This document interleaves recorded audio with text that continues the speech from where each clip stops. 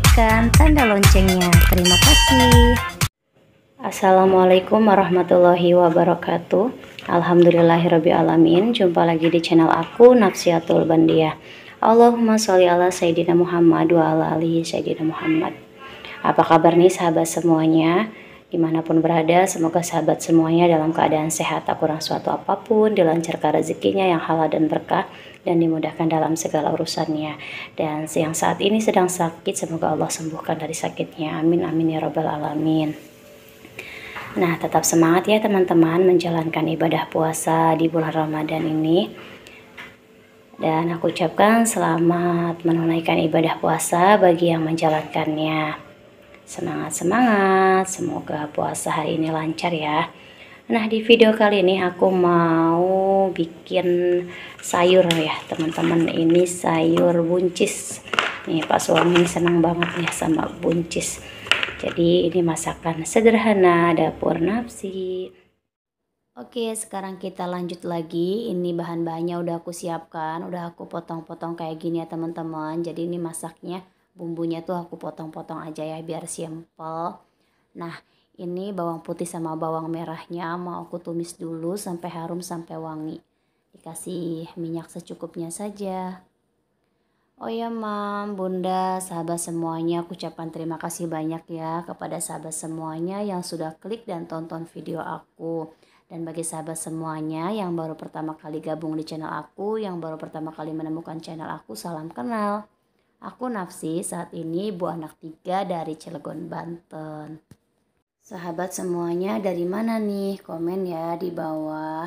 Jangan lupa dukungannya nih di channel ini agar channel ini semakin berkembang dengan cara like, subscribe, komen, dan bunyikan tanda loncengnya agar sahabat semuanya dapat notifikasi di setiap video dari aku.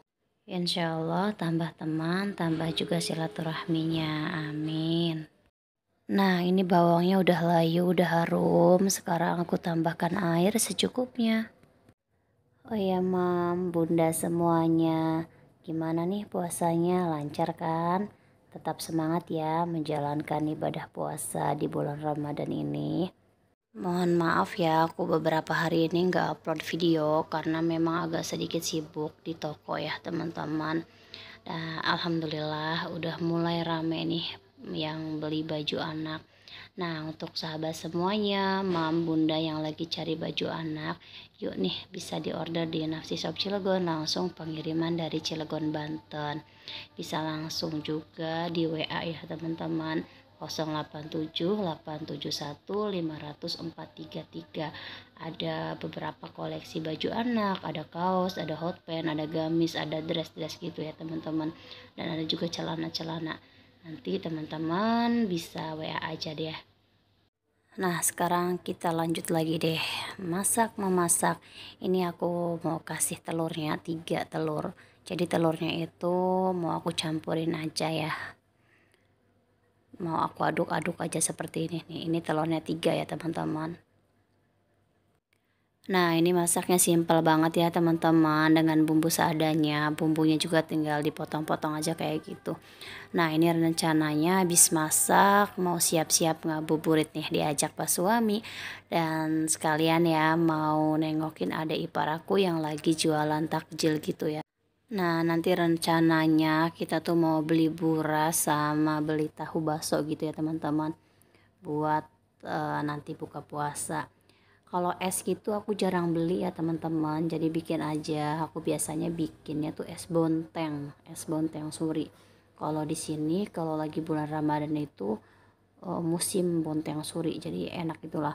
Pakai bonteng suri pakai sirup aja udah deh ya teman-teman. Kasih deh es. Jadi kalau untuk uh, es es gitu jarang beli bikin aja. Jadi kalau takjil itu kayak uh, gorengan gitu. Aku sada suka beli sih. Kayak tadi buras atau tahu bakso aku beli sama ada ipar aku. Kalau nggak bubur sumsum kayak gitu. Tapi kalau untuk es itu biasanya aku bikin sendiri. Nah ini udah mau matang ya teman-teman. Tadi udah dikasih masako udah dikasih penyedap rasa masako rasa ayam tadi itu ya. Kemudian juga ini mau aku kasih gula gula pasir atau gula putih. Nah ini satu sendok. Oke ini udah mau matang ya teman-teman.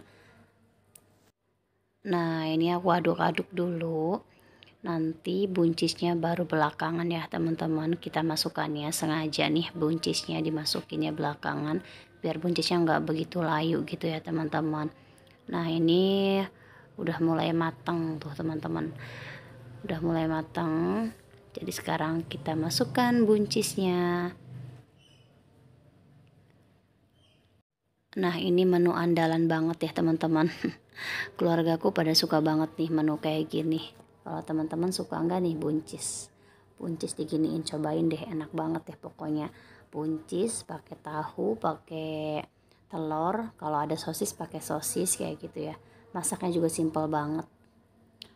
Nah sekarang tinggal nunggu buncisnya matang deh biasanya aku tambahkan jagung manis ya tuh en lebih enak deh kalau ditambahin jagung manis gitu.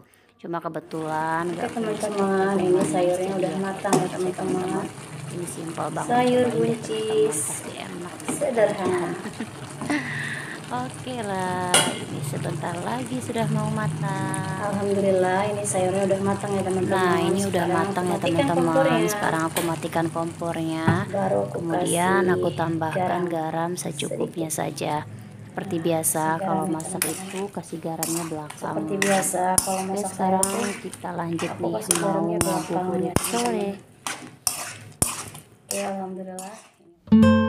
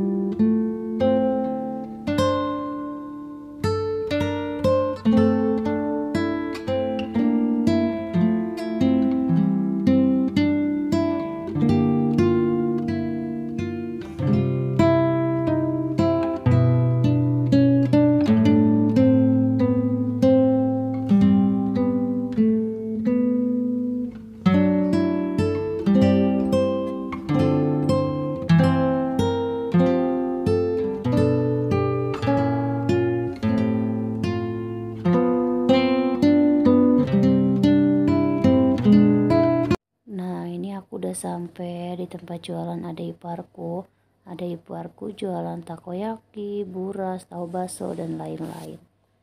Nah sambil nungguin uh, adik nyiapin pesanan ini kita lihat-lihat dulu nih suasana sore hari di sekitar metro Cilegon